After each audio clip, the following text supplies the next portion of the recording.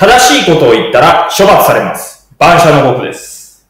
さあ、本日も始めていきましょうということになるんですが、森村号事件っていうのが起こります。森村号事件っていうのは何かっていうのを簡単に説明します。いいですか？漂流民をまずアメリカが助けます。日本のですよ。日本人の漂流民。漂流民って何ですかって話になるんですけど、船が壊れて、要するにナンパしちゃいました。ね。で、えっ、と、海でこういうふうに助けてっていう状態になっている日本人がいました。これをアメリカの要するにモリソン号が助けます。いいですか？この日本人をアメリカのモリソン号が助けます。で、えっ、と、日本に近づいて、えー漂流民を助けたから、え送り届けに来たよってきます。送り届けに来たよってなります。これに対して何をしたかっていう話になるんですが、前回やった1825年の、えー、国船打ち払い例を思い出してください。えー外国船が来た場合に関しては、問答無用で大砲をぶっ放すということですね。いいですか？もう一回言いますが、助けた人を船で送り届けてきましたって相手に大砲をぶっ放すんですよ。おかしくね？って話になるんですよね。おかしくね？ってなる。で、なったんです。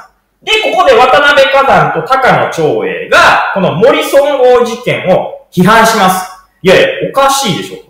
あの、アメリカの森村号が助けた人を送り届けに来て、大砲で迎えるっていうのは頭おかしいんじゃないんですか、幕府の対応は、ということを言うんです。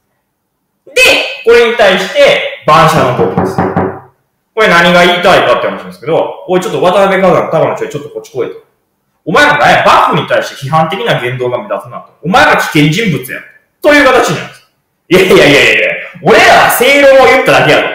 あの、森村号に、その、対して大砲をぶっ放すっていうのはおかしくねっていう話をしただけ。いや、関係ない。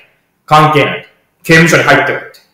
刑務所に入ってる。っていうことで、このまあ、渡辺火山と高野長英たちが、この要するに刑務所の中に入れられるという一連の事件を総称して何を言うかっていうと、万社の極というんです。万社の極。ね。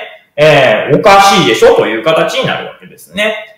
で、まあ、こういった動きを徐々に見てですね、要するに幕府以外の勢力が、もう徳川幕府ダメなんじゃねえと。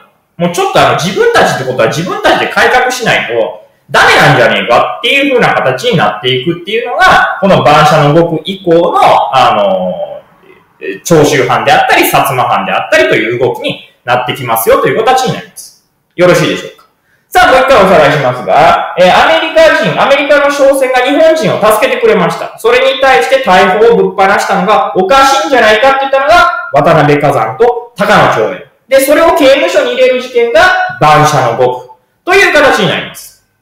よろしいでしょうか？